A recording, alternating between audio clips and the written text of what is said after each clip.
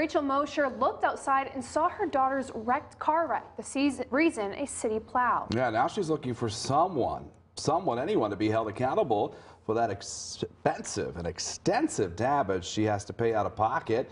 Our 18 News reporter Ty Wong spoke with her today. He joins us now live uh, a little bit. Tell us what a story. I tell you, if I Yeah. walked out the door and saw that, I don't know what I would do. I I would react just the same exact way Rachel Mosier reacted. She was shocked, mm-hmm. she was speechless, and she Yeah. didn't know what to think anymore at that point. Now, Mosier's daughter car was parked right outside of Residential Street on the night of the Super Bowl, only for it to be decimated by a plow. Now, Corning PD was able to confirm the incident did occur, but they didn't have a comment on this incident. Now, the damage is estimated to be about $1,500.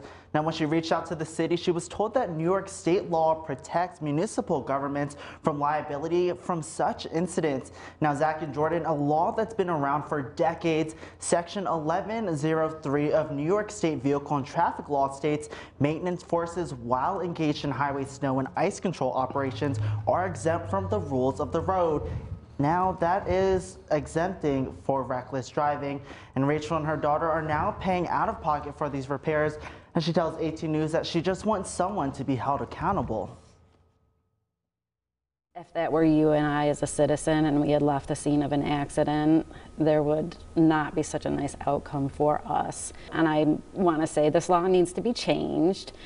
And, you know, they really need to look into these cases by cases instead of just one big law.